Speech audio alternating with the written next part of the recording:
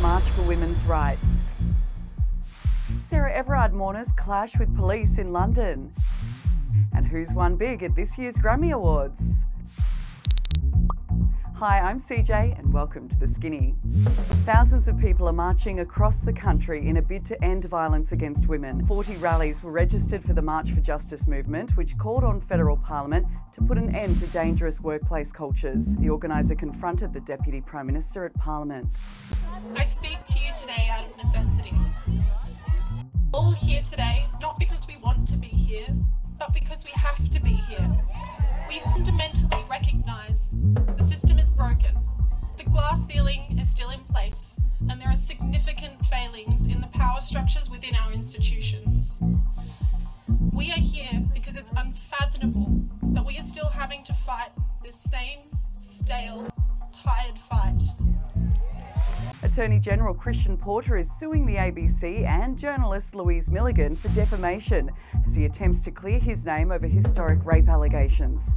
He's accusing the ABC of trial by media and acting with malice. Mr. Porter remains on leave. Queensland has recorded six new coronavirus cases, all in hotel quarantine. Authorities say it'll be another 24 hours before they're confident there has been no community transmission from a doctor who tested positive last week, while hotel security guard tested positive in Sydney.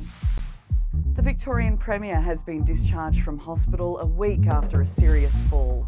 Daniel Andrews fractured his T7 vertebrae and broke several ribs. He will now start a significant period of rehabilitation.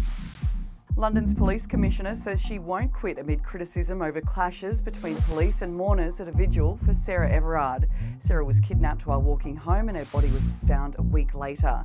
Police officer has been charged with her murder. Beyonce was a big winner at this year's Grammy Awards and even achieved a Guinness World Record with Megan Thee Stallion for being the first female artist to win Best Rap Performance at the Grammys. Harry Styles opened the show with his hit Watermelon Sugar High.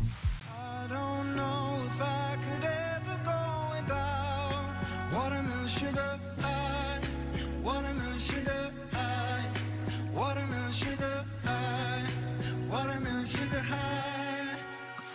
The royal family has shared Mother's Day cards, including one to Granny Diana. Seven year old George wrote one that said, Dear Granny Diana, happy Mother's Day. I love you very much and think of you always. Charlotte coloured a huge heart and had a dancing mouse, and Louis did one too.